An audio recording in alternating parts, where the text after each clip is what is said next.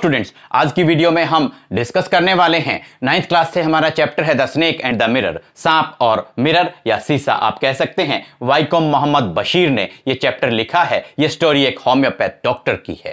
Homeopath doctor बार बार बतलाने की ज़रूरत ना पड़े। स्टोरी की स्टार्टिंग में ही आपको बतलाना चाहेंगे। जो घरेलू पद्धति से चिकित्सा करते हैं। घरेलू चिकित्सा पद्धति जो होती है, उसको होम्योपैथी कहते हैं। उस डॉक्टर को जो घरेलू पद्धति से चिकित्सा करते हैं, इलाज करते हैं, उसको होम्योपैथ कहते हैं। अब ये जो हमारा चैप्टर है, ये वाईकॉम मोहम्मद बशीर ने लिखा है। ये कहानी वाईकॉम मोहम्मद बशीर ने लिखी है। Vaikom Mohammed Basheer, Indian Indian independence के एक्टिविस्ट थे और वो मलयालम लिटरेचर से बिलोंग करते थे। उनको साहित्य एकेडमी में फेलोशिप मिली थी और उनकी जो मेन थीम्स जो उन्होंने अपनी राइटिंग्स और क्रिएशंस में डाली हैं, वो थीम्स हैं poverty insanity and life in prisons चलिए, हम अपनी स्टोरी की तरफ़ रुख करते हैं। जैसा कि हम अभी बतला चुके हैं कि ये एक होम्योपैथ डॉक्टर की कहानी है। Doctor tells this story to some of his friends ये जो होम्योपैथ डॉक्टर है, ये कहानी अपने कुछ दोस्तों को सुनाते हैं। वॉज़ ए होम्योपैथ घरेलू चिकित्सा पद्धति से इलाज करने वाला ये डॉक्टर था। Lived in a small room ये एक छोटे से कमरे में डॉक्टर रहता था। कमरे की कुछ खास बातें हैं, आपको बतला रहे हैं, आप नोट डाउन कर लेंगे। It was a small room छोटा सा कमरा था। It was a rented room किराए का कमरा था the room was not electrified और कमरे में बिजली की कोई व्यवस्था नहीं थी, बिजली के कनेक्शन बिजली की फिटिंग नहीं थी। And the room had two windows कमरे में दो खिड़कियाँ थी। It was an outer room और ये बाहरी तरफ़ बना हुआ कमरा था। इट हैड गैबल रूफ दोहरी ढलान वाली इस कमरे की छत थी, और छत की खास बात क्या थी? That it was made of tiles and was supported on a beam over the walls और ये जो छत थी, ये दीवारों के सहारे भी और एक बीम के सहारे टाइल्स की बनी हुई छत थी। बीम और दीवार जो है, इस छत को सपोर्ट किए हुए थे, सहारा दिए हुए थे। टाइल्स की बनी हुई ये छत थी, इसको गैबल्ड रूफ बोला गया है। और the reds kept on moving here and there और वहाँ रूम में जो रेड्स हैं, चूहे हैं, वो इधर उधर भागते, दौड़ते रहते थे। डॉक्टर के बारे में आपको बतलाएँ। The doctor had just started his medical practice so his earnings were not so much doctor ने अभी अभी अपना जो चिकित्सा का काम है, अपने डॉक्टरी का जो प्रोफेशन है, व्यवसाय है अभी अभी शुरू किया था सो डॉक्टर की जो अर्निंग्स हैं, कमाई है, वो ज़्यादा नहीं थी। He had only sixty rupees in his suitcase doctor के पास केवल साठ रुपए थे, वो डॉक्टर ने अपनी सूटकेस में रख रखे थे। And he had some shirts dhotis and single black coat doctor के पास कुछ कमीज थी, धोतीज थी, और एक कोट था जो काले रंग का था। केवल एक कोट था जिसका रंग काला था। सिंगल ब्लैक कोट कहानी आगे बढ़ती है। वन समर नाइट एक रात की बात है। गर्मियों की यह रात थी। The doctor had his meal at a restaurant doctor ने एक रेस्टोरेंट में अपना खाना खाया and came back to his room at ten o'clock दस बजे रात के अपने कमरे में डॉक्टर वापस आ जाता है। He took off his cloth गर्मियों की रात थी सो डॉक्टर ने अपने जो कपड़े हैं वो उतार दिए एंड ओपन द विंडोज़ और डॉक्टर ने खिड़कियाँ अपने कमरे की खोल दी। ही lay down but couldn't sleep सोने के लिए वो लेट जाता है। सो नहीं पाया, क्योंकि इट वॉज़ वेरी हॉट बहुत ज़्यादा गर्मी थी। So he went out to the veranda for a little air ताकि थोड़ी बहुत हवा मिल सके, इसलिए डॉक्टर बरामदे में। उस कमरे के बाहर जो बरामदा था, वहाँ पर डॉक्टर बाहर निकल आता है। But he got no air outside also बाहर भी डॉक्टर को कोई हवा नहीं मिलती है सो ही केम बैक इसलिए वो डॉक्टर जो है, वापस दोबारा से अपने कमरे में आ जाते हैं। कमरे में आने के बाद डॉक्टर ने क्या किया? He sat down on the chair, he took a book and started reading in the light of kerosene oil lamp या kerosene lamp.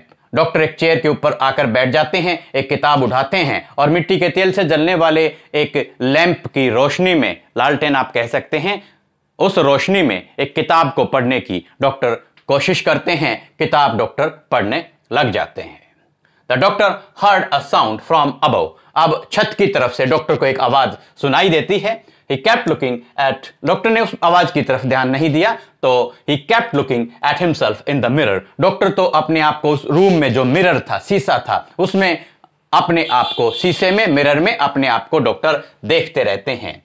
अब डॉक्टर ने क्या किया? He made important decision doctor ने एक बहुत ही महत्वपूर्ण निर्णय लिया। He decided to have thin moustache and shave daily doctor ने एक निर्णय लिया कि अब अब के बाद में टू लुक स्मार्ट स्मार्ट दिखने के लिए पतली पतली मैं मूछ रखूँगा और डेली मैं शेव करूँगा। He heard the same noise after some time कुछ देर के बाद डॉक्टर को फिर वही आवाज़ जो पहले सुनी थी, वैसी ही आवाज़ सुनाई देती है। But the doctor paid no heed to it doctor ने इस बात की तरफ़, इस आवाज़ की तरफ़ फिर से कोई ध्यान नहीं दिया।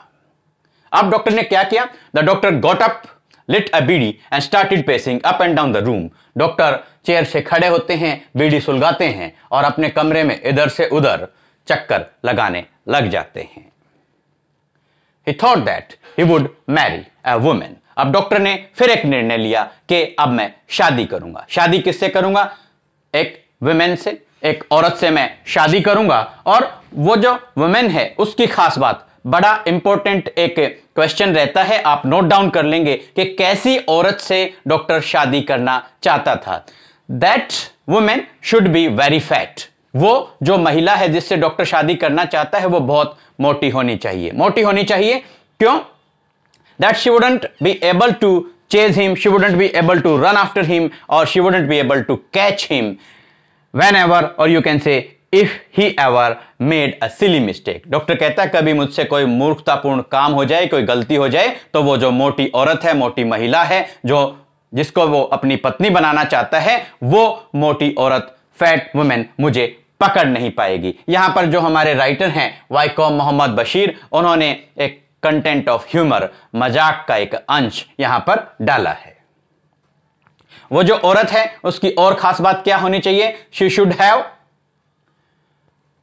she should have a very good medical practice उस औरत की जो है, बहुत अच्छी मेडिकल प्रैक्टिस चलनी चाहिए। She should be a doctor वो डॉक्टर होनी चाहिए। And she should have plenty of money उसके पास बहुत सारे पैसे होने चाहिए। साथ में गुड मेडिकल प्रैक्टिस भी उस महिला की चलती हुई होनी चाहिए।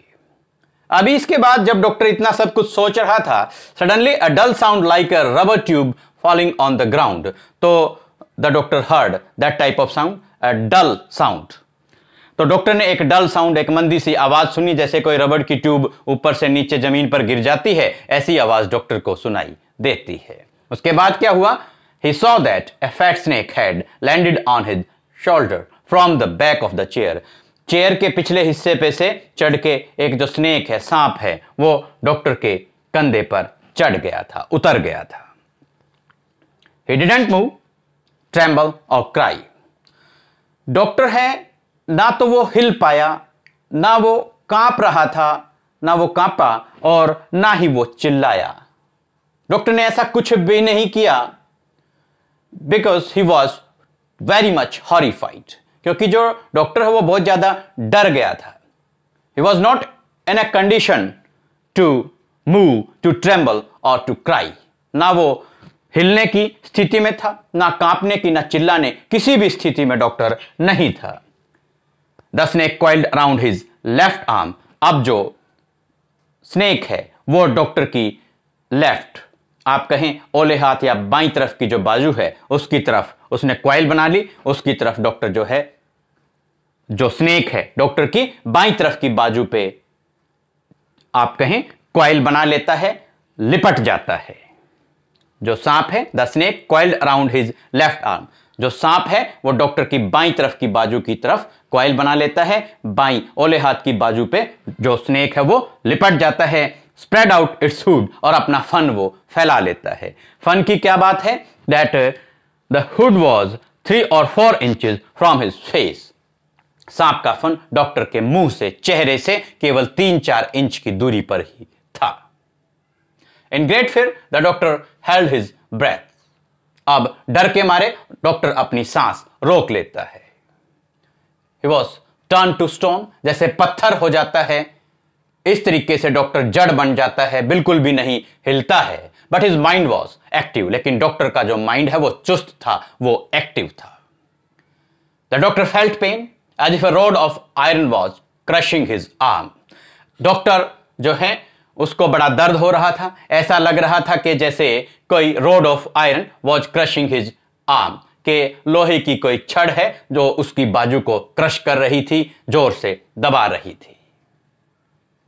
What medicine he should take what medicine he should take if the snake bites him अगर सांप उसे काट लेता है डॉक्टर सोचता है तो कौन सी उसे मेडिसिन लेनी चाहिए? But there was no medicine available there वहाँ पर डॉक्टर के पास। कोई भी मेडिसिन नहीं थी। So he considered himself the most foolish person इसलिए डॉक्टर अपने आप को सबसे मूर्ख व्यक्ति कहकर बुलाता है, पुकारता है। Very soon the snake turn his head बड़ी जल्दी सांप ने अपना जो हेड है, सिर है, उसको टर्न किया, घुमाया, मोड़ा। लुक्ड इनटू द मिरर सांप ने अपने आप को मिरर में, शीशे में देखा एंड सॉ इट्स रिफ्लेक्शंस और अपनी रिफ्लेक्शंस को, अपनी छाया, अपनी परछाई को सांप ने शीशे में देखा। प्रेप्स अब डॉक्टर को किसी भी चीज़ का अंदाज़ा नहीं था, केवल कुछ भी वो श्योर नहीं था कि ये सांप कर क्या रहा है। So a word perhaps has been used शायद। डॉक्टर क्या कहते हैं?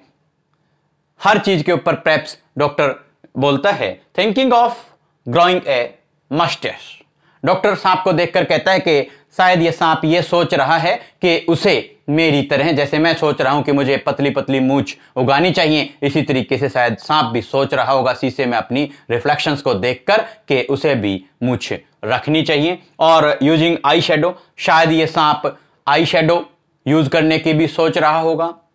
और wearing vermilion spot on forehead या शायद ये माथे के ऊपर सिंदूर का टीका लगाने की सोच रहा होगा। It is male or it is female ये मेल है और इट इज़ फीमेल या ये फीमेल है, ये नर है या मादा है? तो डॉक्टर इन सारी चीज़ों के बारे में प्रेप्स वर्ड यूज़ करता है, उसको कुछ भी समझ में नहीं आ रहा था कि सांप शीशे में क्या देख रहा था, या वो मूछे उगाने की सोच रहा था, या आई शेडो यूज़ करने की सोच रहा था, या सिंदूर का टीका लगाने की सोच रहा था, ये मेल है या फीमेल है, इस बारे में डॉक्टर कुछ भी जो है सर्टेनिटी के साथ में नहीं सोच पाया, वो प्रेप्स या जो पॉसिबिलिटी या संभावना की बात होती है, वहीं तक वो सोचता रहा, शायद ये सांप ऐसा सोच रहा है, शायद सांप के मन में ऐसी बात आ रही है। Suddenly the snake uncoiled itself फिर अचानक से सांप ने जो डॉक्टर की बाई तरफ़ की लेफ़्ट आर्म की बाजू जो है, उस पर सांप ने जो क्वाइल बनाई हुई थी, जो पकड़ बनाई हुई थी, जो वहाँ पर लिपटा हुआ था, उसको सांप ने उस क्वाइल को अनकॉइल कर दिया। यानी कि सांप ने अपनी पकड़ को ढीला कर दिया। वहाँ उस बाजू पर से सांप उतर जाता है। एंड स्लिथर्ड, आप कहें फेल यानी कि फिसल कर इन टू हिज लैप और फिर डॉक्टर की गोद में वो सांप गिर जाता है। Then the snake crept on the table फिर ये सांप रेंग कर टेबल पर पहुँच जाता है and move towards the mirror for closer look और फिर ये सांप आगे बढ़कर मिरर की तरफ़ चला जाता है। ऐसा लगता था कि ये सांप अपनी जो रिफ्लेक्शंस हैं, उसकी क्लोजर लुक यानी कि मिरर में और ज़्यादा निकट से अपने आप को देखना चाहता था। अब क्या हुआ? At the time the doctor felt relaxed अब डॉक्टर को राहत महसूस होती है। Now his life was saved अब उसका जो जीवन है, वो बच गया था। ही गॉट अप डॉक्टर उठता है। Ran with full strength and in fact kept on running till he reached his friend's house तो जो डॉक्टर है, वो उठता है अपनी पूरी ताकत से, बाहर भागता है, दौड़ता है, जब तक दौड़ता रहता है, जब तक कि वो अपने दोस्त के घर नहीं पहुँच जाता। अब क्या होता है? Then the doctor smeared oil all over his body he took bath and wore new cloth he change his cloth doctor ने अपने पूरे शरीर के ऊपर तेल मालिश की, तेल लगाया। दोबारा से वो स्नान करता है, नहाता है और कपड़े बदल लेता है, नए कपड़े या दूसरे कपड़े पहन लेता है। अब बात आती है नेक्स्ट मॉर्निंग की। Next morning the doctor came with his friend and there were two three other person also doctor जो वो भी आप उसके डॉक्टर के फ्रेंड्स कह सकते हैं।